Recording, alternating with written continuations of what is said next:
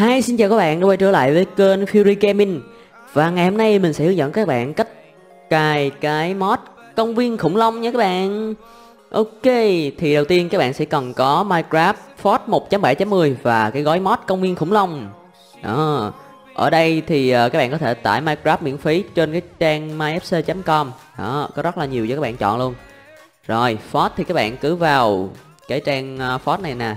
Cứ bấm cứ vào cái version 1.7.10 đó như thế này. Bấm chữ installer và đợi nó chạy quảng cáo trong vòng 6 giây. Đó, nó sẽ bắt đầu chạy quảng cáo. Và sau khi quảng cáo kết thúc các bạn chỉ cần bấm skip là được. Ừ, nó sẽ tiến hành tải fort cho chúng ta. Trong khi nó tải thì mình sẽ tiến hành tải luôn cái gói mod uh, công viên khủng long này. Tất cả các cái link download mình sẽ để ở dưới phần mô tả cũng như là phần uh, comment của video này nha. Các bạn cứ bấm vào tải xuống là được. Đó nó sẽ tiến hành uh, chạy một tí và nó sẽ tải xuống cái gói mod cho chúng ta. Đó nó là tiến hành uh, tải xuống cái gói mod rồi chúng ta bấm sale. Đó là sẽ được thôi. Ok thì sau khi tải xong các bạn sẽ có ba cái như thế này. Minecraft nếu bạn nào chưa chạy thì cứ bấm vào để cho nó chạy trước đi nha. Ở đây thì mình đã chạy Minecraft rồi. Đó nên mình sẽ bấm lại một lần nữa luôn cho các bạn xem. Đã chạy rồi nên nó chạy rất là nhanh. Còn nếu bạn nào mà chưa chạy Minecraft thì nó sẽ chạy à, khá là chậm đó à, và đây là phiên bản Minecraft mới nhất 1.13.2 quá đã luôn. Trời ơi. Ok. Ta sẽ chờ nó một tí nào. Nó sẽ bắt đầu uh, load game. À, rồi. Quá hợp lý luôn. Tắt nó đi. Chúng ta sẽ đến với bước thứ hai đó chính là chạy Ford 1.7.10 cứ tiến hành chạy. Ok là được rồi đó nó chạy rất là nhanh luôn. Và bước thứ ba chúng ta sẽ tiến hành chạy Minecraft với lại Ford uhm. ở đây mình sẽ chọn cái phiên bản 1.7.10 nha. Bấm chữ play. Nó sẽ tiến hành uh, đao cái giả lập về. Cái đao này thì nó cũng rất là nhanh luôn. Tại vì khi các bạn đã chạy Minecraft xong rồi thì nó sẽ tự động tạo giả lập thôi.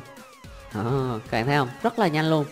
Ok sau khi Ford 1.7.10 đã chạy đã chạy thành công thì chúng ta đã có cái giao diện như thế này rồi ở đây mình sẽ tiến hành à, tắt mấy cái này một tí đã. Ok bước tiếp theo chúng ta sẽ tắt cái này đi. Đó.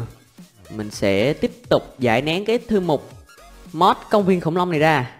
Đó các bạn cứ giữ cái này và kéo ra ngoài màn hình nha. Rồi thế là hay rồi.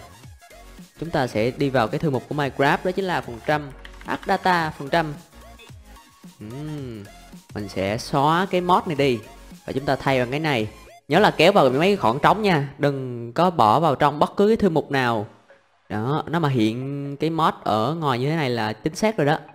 Bây giờ chúng ta sẽ tiến hành chơi nó thôi. Thì uh, nói chung là uh, ờ, để cái ờ, fork này nó chạy mượt hơn thì các bạn nên vào cái phần low option. Đó và bật cái này lên cho mình.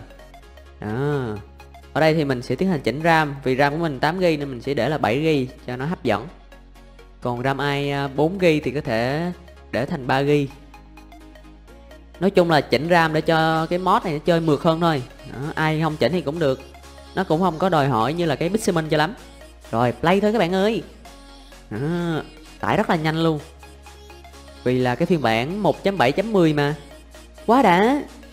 À, à đã bắt đầu chạy rồi kìa. Quá tuyệt vời luôn. Và đây là cái gói mod công viên khủng long mà mình đang chơi nha. À. Rồi cái này thì lót rất là nhanh luôn.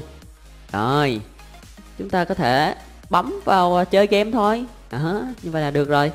Cái giao chuyện này là chúng ta đã cài thành công cái công viên khủng long rồi. Ok thì cảm ơn các bạn đã xem video này. Nếu thấy hay và bổ ích Đừng quên bỏ lại một like, subscribe cho kênh Fury Gaming. Và nhớ để lại comment ở phía bên dưới nha. Xin chào và hẹn gặp lại các bạn trong những video kế tiếp. Bye bye.